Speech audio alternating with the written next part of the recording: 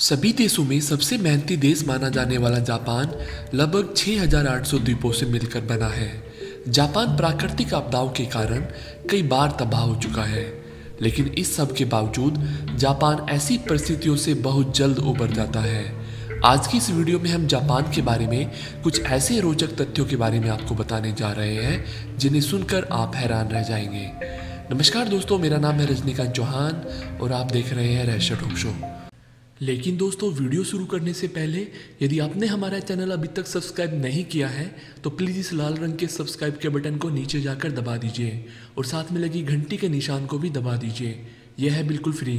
बस इससे हमारी सभी वीडियो आप तक आसानी से पहुँचती रहेगी। तो चलिए शुरुआत करते हैं। यदि आप आजकल हमारे देश भारत के अखबार उठाकर देखेंगे तो ज़्यादातर खबरें राजनीति, अपराध व मूवी मसाला आदि से संबंधित होती है, लेकिन जापान में ऐसा बिल्कुल नहीं है। यहाँ के अखबारों में केवल आधुनिक तकनीक और रोज़मर्रा के जीवन में काम आने वाली उपयोगी खबरें ही छपती हैं। एक छोटे से देश जापान में पचास हज़ार लोग ऐसे रहते हैं जिनकी उम्र सौ वर्ष से भी अधिक है।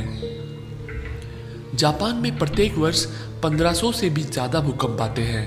अर्थात औसतन चार भूकंप जापान में प्रतिदिन आते हैं। लेकिन इसके बावजूद जापान दुनिया की दूसरी सबसे सशक्त व बड़ी अर्थव्यवस्था वाला देश है। हमारे देश में जहाँ नर्सरी के बच्चे को भी पहली क्लास में पहुँचने के लिए परीक्षा देनी होती है, वहीं जापान में जब तक बच्चे 10 वर्ष के नहीं हो जाते, उन्हें कोई परीक्षा नहीं देनी होती।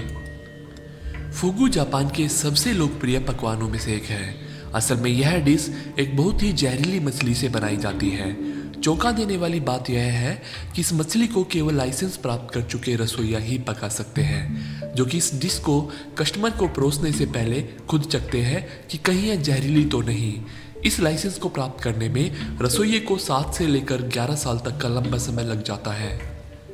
आप हैरान रह जाएँगे कि जापान में 90 प्रतिशत से भी अधिक मोबाइल वाटर प्रूफ है, क्योंकि जापान के लोगों को नहाते समय भी मोबाइल यूज़ करने का शौक है। आज जहाँ भारत में अपनी मातृभाषा हिंदी में काम करना व बोलना कई बार शर्मिंदगी का कारण बन जाता है, वहाँ जापान में शिक्षा समेत सभी सरकारी कामकाज वहाँ की मातृभाषा जापानी में ही होते हैं। दूसरे देश की यात्रा करते समय जापानी लोग ट्रांसलेटर का प्रयोग करते हैं। अपनी भाषा प्रयोग करने में जापानी लोग फक्र महसूस करते हैं। जापान की साक्षरता दर 100 प्रतिशत है, जो कि दुनिया के सभी देशों में सबसे ज़्यादा है। जापान में बहुत सी बिल्डिंग ऐसी हैं जिनके बीच से होकर हाईवे गुजरता है। पूरी दुनिया में जापान एक ऐसा देश है जो अपने देश की नागरिकता किसी मुस्लिम को नहीं देता। यहाँ मुस्लिमों को किराए पर कमरा मिलना भी नामुमकिन है। जापान में लोग अपने अकेलेपन को दूर करने के लिए गर्लफ्रेंड व बॉयफ्रेंड किराए पर ले सकते हैं। अब आप हमें कमेंट बॉक्स में बताइए कि जापान की तरह भारत देश का भी सारा कामकाज हमारी मातृभाषा हिंदी में होना चाहिए या नहीं? वीडियो को फेसबुक व्हाट्सएप ट्विटर पर शेयर भी ज़रूर कीजिए।